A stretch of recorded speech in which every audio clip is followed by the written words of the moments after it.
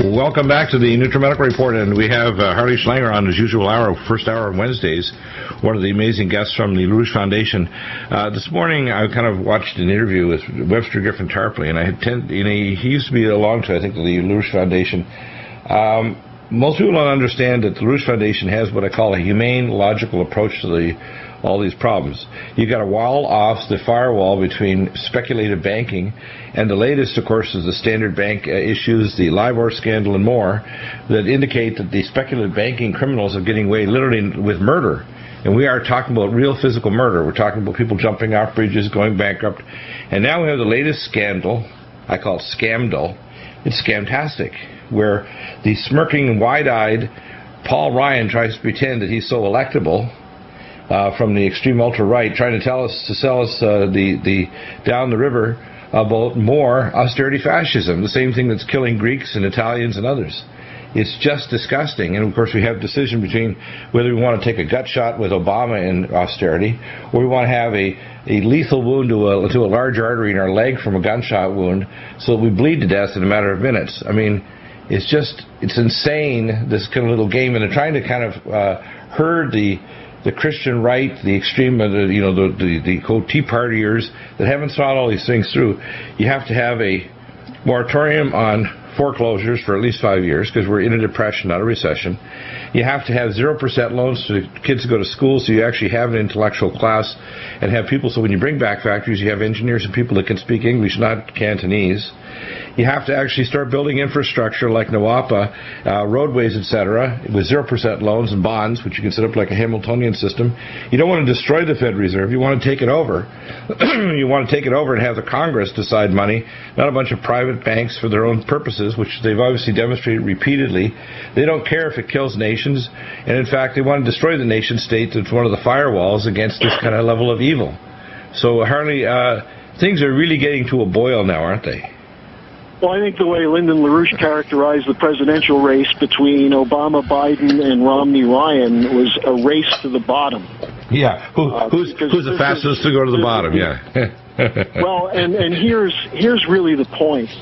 Uh, with all the jockeying around Medicare, the discussion of austerity, and so on, none of them are addressing the real issue, which is: Are we going to stop bailing out corrupt and fraudulent banks? Exactly. And Ryan voted for the bailout. Sure. But I, I want to take this from a, a, uh, the reason I wanted to start with the Standard and Chartered Bank is to show that while these guys are sparring on who's better going to kill off the American people mm-hmm. and the American economy. Yeah, exactly. The Standard and Chartered Bank was caught by illegally filing papers that covered up that they were violating U.S. law. In this case, having to do with uh, trade deals with Iran after sanctions and also questionable arms, money for arms and drugs. And the New York State banking superintendent, a man named Lawsky, brought a case against them. And this led to a complete freakout in the city of London because it looked as though he was going to kick them out of the United States. So the British banking authority put all their pressure they could on the Justice Department. And yesterday, Standard and Charter's CEO came to New York, issued an apology, said they're going to tighten their standards, and agreed to a fine. I think it was a $300 million fine, or maybe it was only 40 million. I can't remember. And then Lawsky announced that because of the Justice Department, there will be no case against Standard and Chartered. Oh, really? So this would be the equivalent of shooting up a theater and then coming in and, and giving the gun to the police and apologizing and then paying a fine and walking away. Now, this is not the first time this has happened. Hong Kong and Shanghai Bank is going to get off. Goldman Sachs, the, the Justice Department refused to press charges in this case where it was Goldman admitted that they were taking worthless mortgage-backed securities, selling them to their clients, even as they were betting against them on their own account. So they were making money mm-hmm. from their clients, both for the sale and then also the losses of their clients were the gains for Goldman Sachs. And this is illegal. Now, there's another thing that's illegal. I just want to point this out because it's a, a, one of these delicious little ironies. In September 2008, when the Bush team first adopted the bailout policy, in this case for Lehman Brothers, there were a few leaders of the Congress who got special briefings from Bernanke on it. One of them was the Wisconsin U.S. Representative Paul Ryan. As soon as he came out from the briefing by Bernanke, Ryan placed a sell order on his, I think it was Bank of America Wachovia stock, and bought Goldman Sachs. Which means he's an inside boy, and he's actually uh, totally bought and paid for, and he's got his hands in the cookie jar. And this is no, that wasn't illegal at the time. It would be illegal now. But well, it's it immoral. Is a form it's, of insider trading. You're it's, absolutely it's immoral. Right. Bernanke it's told him which banks are going to be in trouble and which banks are going to get the benefit of the bailout, and he pulled his money based on the briefing from Bernanke. And so he Hmm. made money on the collapse of Lehman Brothers and the near collapse of the financial system. Now, is that the kind of guy you want in the White House? Of course. You want to have the. You don't want to change uh, when you have when you have a run of scum. You want to continue scum, even if it's wide-eyed scum that tries to pretend it's a it's Christian pro-life, but it believes in uh, Ayn Rand and uh, a hater of God. We, that believes in austerity fascism that professes to be pro-life. You know, sure well, on, on, on austerity fascism, I find it ironic that Ryan is saying, well, he and Romney are both saying we don't want to become like Greece and Spain. Oh, well, come the on. policies they're pushing for the United States are identical with what is driving down the economy of Greece and Spain. What will happen is you- the seniors' right, co-pays will be- fascism. Right. The the seniors co- co-pays, the seniors are frozen amounts for Social Security when they're in fixed income. The co-pays for Medicare, where they're not controlling real costs for health care, they're not allowing innovation in medicine. They're not going to grow or control the costs of Medicare equipment, supplies, drugs, or anything. No, this is a, a bill written for and by the big drug companies, by the big insurance companies, to crush the seniors and extract as much wealth out of them and cause their copays to go crazy. And a lot of seniors basically go will take a pill sec- every second day rather than the same day. I personally tell them to get off medicine altogether because their bodies can't toxically handle it. But the problem is, Well, this is what people know, are given. The important thing about what you're saying is that there's no difference really in effect between Obamacare and the Paul Ryan Medicare Social No, Security it's, it's, budget. it's all Kilgreen All to save the budget. All of it's them are trying yeah, to bail out insurance companies and the big uh, corporate cartels involved in healthcare at the expense of people's health. And all of them are prepared to gut what's left of the U.S. economy to allow the continued bailing out of the banks and insurance companies. Well, if you wanted to have a new universal system, I could tell you about four points in two minutes exactly what they should do. Number one, let everybody buy into Medicare. Uh, have a system where you have a means test. If you're below a certain income, you don't pay. We have is a very small federal or and say a state tax that would go into a fund to pay for the people who can't afford to buy into Medicare. Get rid of the idea of coding, which is the American Murder Association. Get rid of state licensure so doctors move where the jobs are. Uh, and if also they're retired, get rid of what we call predatory lawsuits, where three quarters of the lawsuits are causing driving up the cost of care.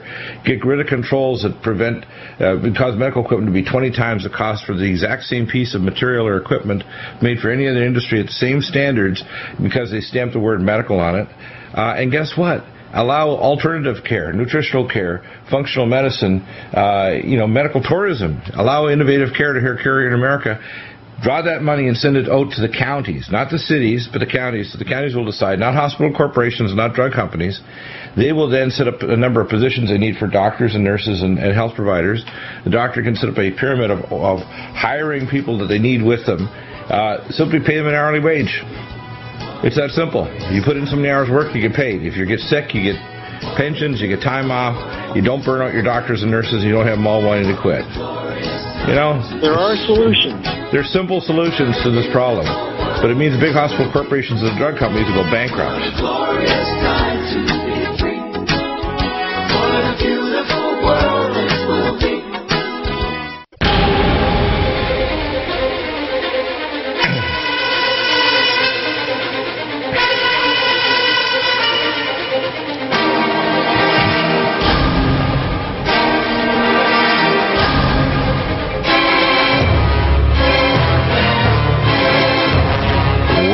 And uh, Harley, let's continue with some of these uh, important stories. Um, we've got lots of things going on. The Mars Pro, by the way, is another one. I, I didn't see in your lister, but I'm sure you have some comments. We need to inspire people with science as well. I know you had kind of a little Exactly. We need to inspire the people to. the list, there, there are two uh, videos that we have on our website. One is called "The Curiosity of Man," which is an 18-minute feature video on the Curiosity rover that's now on Mars, and the other one is is last week's or this week's uh, weekly, re- or I'm sorry, last week's weekly report with Lyndon LaRouche, where he discusses exactly what you're saying, the hunger of man for knowledge. And, you know, one of the things about being up on Mars that's a special advantage is that the asteroid belt, which produces most of the asteroids that are, uh, that, that come by the Earth, uh, are in this belt between Mars and Jupiter most of the time, and they have some deviations in their orbits. But the best place to watch for them is from Mars. So Right. you get a number of great benefits from, and then you can do triangulation if you have satellites up there that uh, uh, are able to then triangulate with what we see from Mars. So uh, there are two things on our website, but I want to get to what I think is the, you know, we, we kicked around this question of, of fascism and and the uh, insanity of this presidential debate. The other side of this is that Obama is trying to portray himself as reasonable when it comes to the Syria-Iran question. So Romney looks like a, a cowboy, and Romney is saying things that are utterly irresponsible on this. But the Obama policy is just as dangerous as what Romney's proposing. And I, I want to just tell your listeners what happened this last week, where number one, Hillary Clinton went to Turkey, and she basically met with the so-called opposition forces uh, in from Syria. Now, the opposition in Syria on the ground is led by Sunni radical terrorists, including explicit Al Qaeda supporters funded by the Saudis, just as the Saudis funded Al Qaeda against the Russians in Afghanistan. And so the, the Syrian National Army and the Syrian Free Forces claim that they're not connected with Al Qaeda and this has nothing to do with them. But the bomb that just went off in Damascus today, the bombs that are going off in, in cities of Syria, are being done by Al Qaeda bombers who have taken control of the insurgency. So here's Hillary Clinton giving credibility to those forces and talking with the Turks about a no fly zone over Syria. Then yesterday, the uh, U.S. spokesman for the Pentagon, a man named George Little, who obviously has, Little describes his brain power, uh, gave a Yeah. presentation Yeah. in which he said the greatest threat is Assad's use of the Air Force against uh, rebels because it hits civilian populations. Now, these so-called rebels are shooting and killing government employees Right. everywhere. And the Assad government is fighting to save their country. Now, the idea that we're going to set up a no-fly zone as we did in Libya, that remember in Libya, we had the cover of a UN resolution. There will be no UN resolution on Syria because the Russians and the Chinese will not allow it. Right. In fact, the no-fly zone will be declared by Vladimir Putin because when they give the uh, MK17, which is the uh, S400 system, they probably already have the S300. Any missile, drone, or anything flown over Syrian airspace will be blown out of the sky, including the uh, cannon fodder Turks that decided that Well, they that, wanted that, to. that puts us right on the verge of World War III. Right. And the important thing that, that is there is the Russians are not going to back down because they're saying this is a matter of principle. And the principle here is national sovereignty. If Right. Assad is so bad, then ultimately his people will overthrow him. Right. And the problem that, that exists is that the people trying to overthrow him are essentially run by the Saudis, who are trying to take over Syria and take over Iraq uh, as part of a greater Saudi operation. Well, we No. have an, an article we're posting up after we had an interview on on Friday afternoon, our third hour, with Walid Shoebat about Huma Abedin, the senior executive assistant that's literally the daughter of the woman who set up the Muslim Sisterhood in Saudi Arabia and supports all these terrorist organizations that are Yeah. invading and taking over Syria and trying to invade and have special operations inside Iran. So uh, this situation is we have infiltrators and and uh, uh, and uh, is inside our State Department. Well, now here's the you have these uh, two uh, links on your that we sent you today. One is on General Dempsey of the Joint Chiefs of Staff, who said was asked, "So are you planning a no-fly zone?" And he said, "Look." My job is to prepare options and alternatives, but I don't think a no-fly zone will work, and I don't think it's a solution. Then, interestingly enough, the NATO official who was in charge of the operation in Libya, who's from the Canadian Air Force, issued a statement this week saying that there should be no attack on Iran and also Syria is not Libya. Now, the military people who are saying these things are people who have been in combat. Dempsey, who's the head of our Joint Chiefs, was a commander in Iraq. He knows what happens that with the with war. He knows what happens to soldiers and troops, and he's he's someone who's speaking on behalf of the military, the men and women in the military, when he says, "Let's not go into Syria." Now, you have on the other side the crazy Obama, who doesn't know a damn thing about warfare except killing by remote control. Yeah, exactly. And this is what's dangerous. Yeah, exactly. In other words, he is the baseball card remote control murderer. Yeah. That's exactly it. And Yeah. I think the, the point is that uh, the military, if it's told to go in, will go in.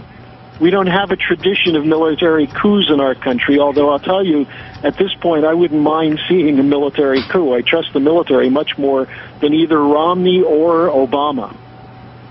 Yeah.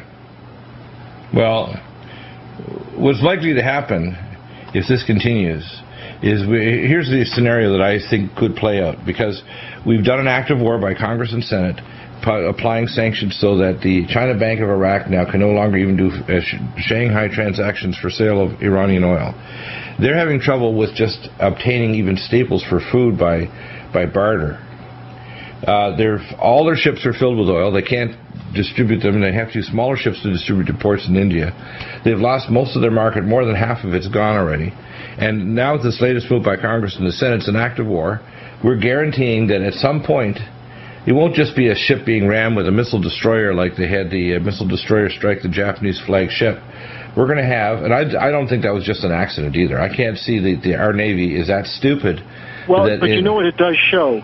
It shows that if it if it wasn't an accident, that's another story. But if it was an accident, it makes a point that you've made before, and, and military uh, experts make, which is the Persian Gulf and the Strait of Hormuz is not that big. And when Yeah. you start putting massive amounts of hardware in there, you're Well, begging that there not be an error. Exactly. In other words, it's one of two things. It's either stupid because there's too much traffic there, or number two, it is an attempt to threaten anybody carrying Iranian oil that we're going to ram you. One or the other.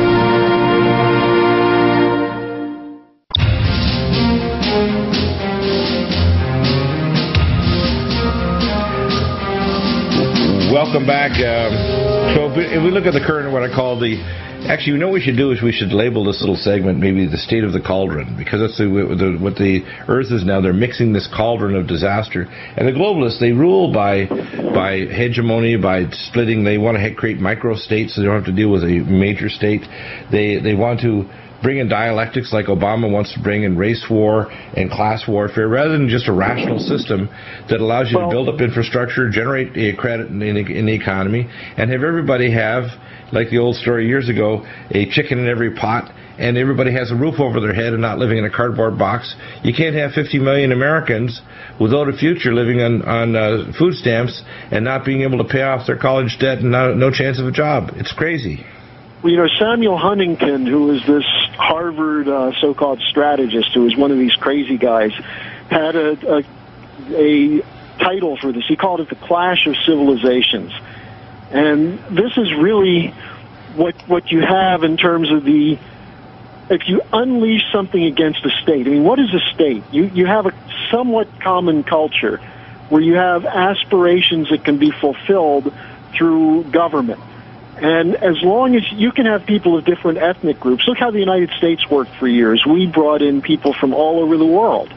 And because we had a growing economy, because the American system is based on the idea of the future, we were always able to accommodate ethnic groups coming in, provided they became part of the common culture, the so-called melting pot.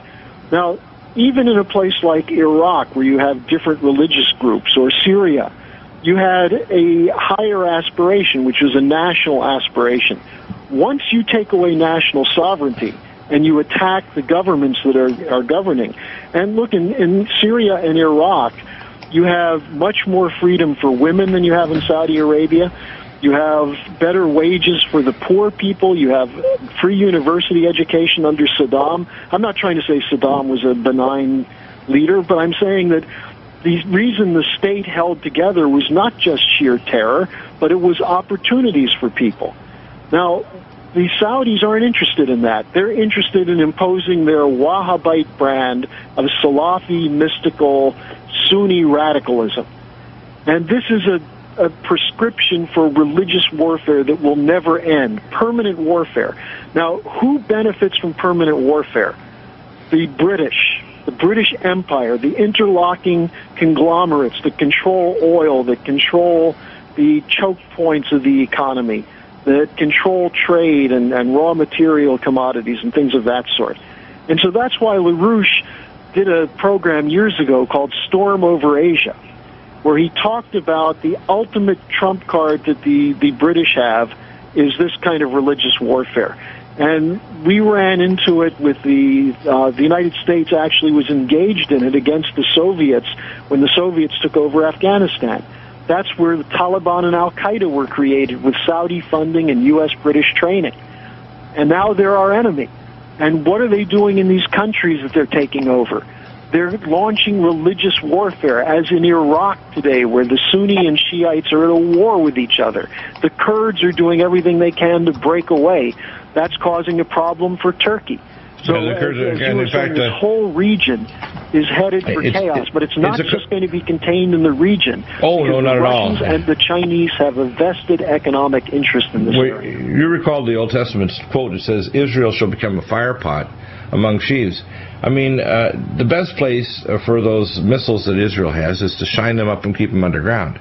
The best thing for Mr. Obama, or a real leader, which we don't have in the White House, including the current aspiring Asperger's presidential candidate Mitt Romney, would be to call up uh, Syria and Iran, apologize for actually interfering with their internal affairs, supplying, for example, the latest that I've heard is the acquisition of incredible numbers of ammunition, supposedly going to be put through the National Endowment for Democracy, which is a CIA front, to ship these bullets to these people over in uh, these so-called insurgents and the Syrian Free Army, which are basically hired uh, mercenaries that are coming from Libya, Tunisia, and Saudi Arabia that are paid fifty to seventy-five thousand to to commit mass murder, and they have a thing called Shabiba, which means they go to a place like Aleppo. They'll take little boys, 12, 14 years of age, and their father, and if they don't immediately join the Syrian Free Army, they shoot them on the spot and then hang the other children in the household. Uh, it's just disgusting. You know, there was And- a, a, a very good op-ed in the uh, Israeli newspaper Haaretz the other day by a man named Amir Oren, who's the preeminent military historian in Israel. And what he wrote about is that given the changes that Netanyahu has made with the cabinet, the shifting going on between Kadima and the other parties, the coalition changes, what he said is he's convinced that unless there's something from the outside that intervenes, that Netanyahu's going to launch a strike during August. Now, he said the one thing that would stop bad news. Bad news. the Yeah, one ahead. thing that would stop that would be if President Obama publicly said, Netanyahu, you must not attack Iran.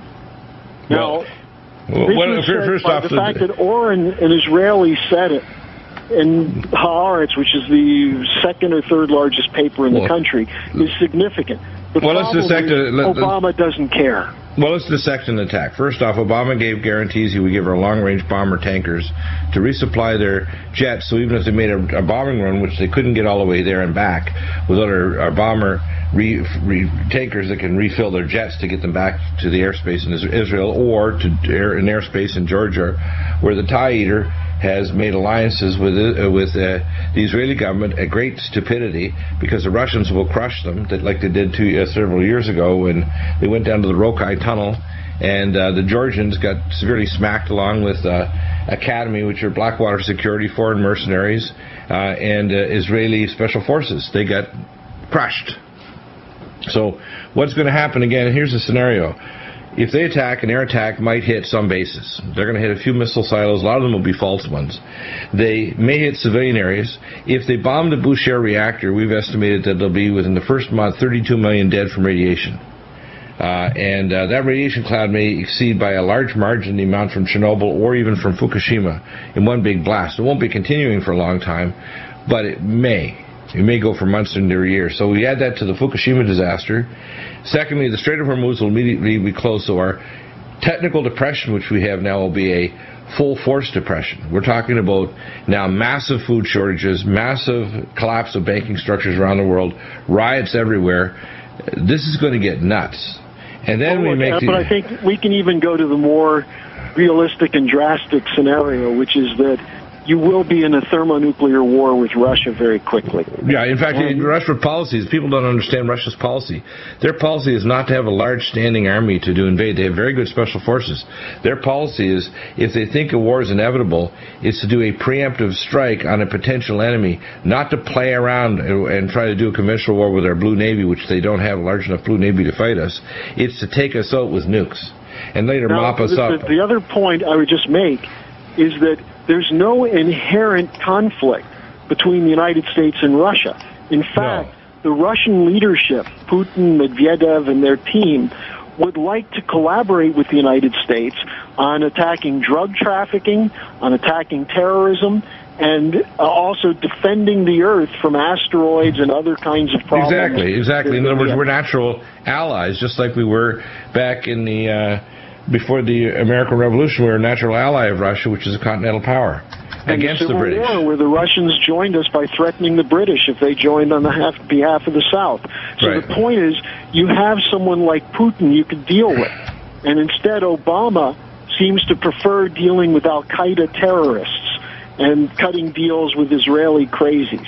And so this is why what LaRouche said in, in the last weekend after Ryan was nominated is he said it's still the case that we can't afford either of these teams, either the Obama, Biden, or Romney, Ryan. I don't know how we can get an alternative, but we have to fight for an alternative. Well, the most we can hope for is is is, is complete uh, gridlock. If we can't get a, uh, the government we need, we need complete gridlock so they can't do anything.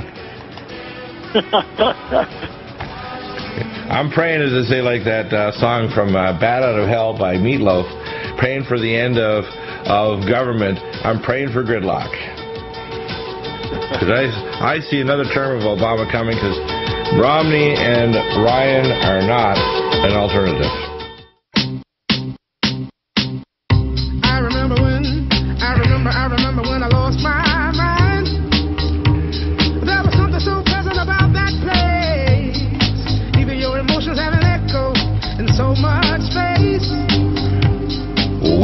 Back. And uh, so, Harley, where are we going in uh, August, September? From you know, what do you see happening in terms of the timeline, the elements in this cauldron of geopolitical? I call it the selection, not election.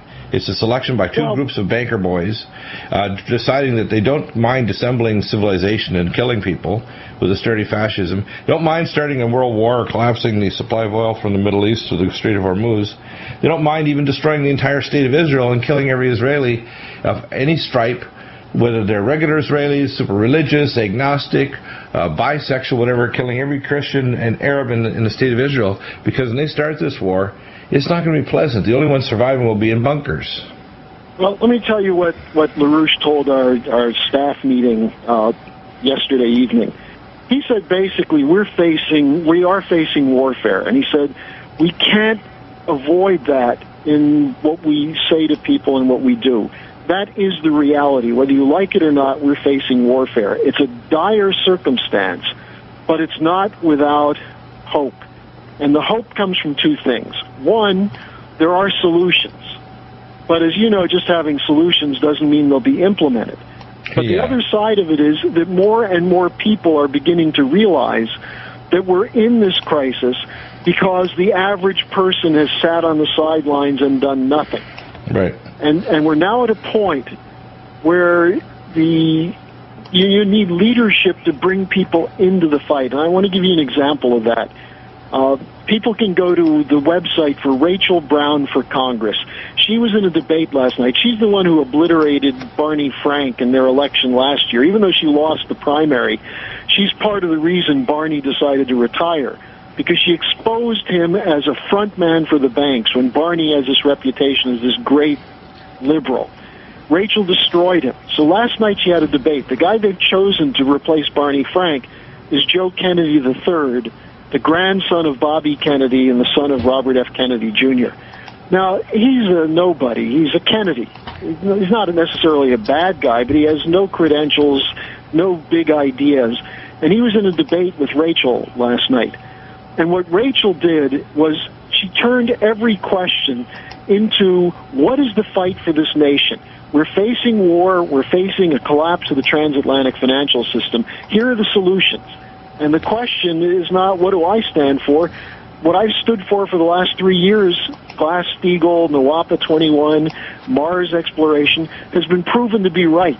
The question is, will the voters act in their own interests or not? Now, here was the, the best thing that she did.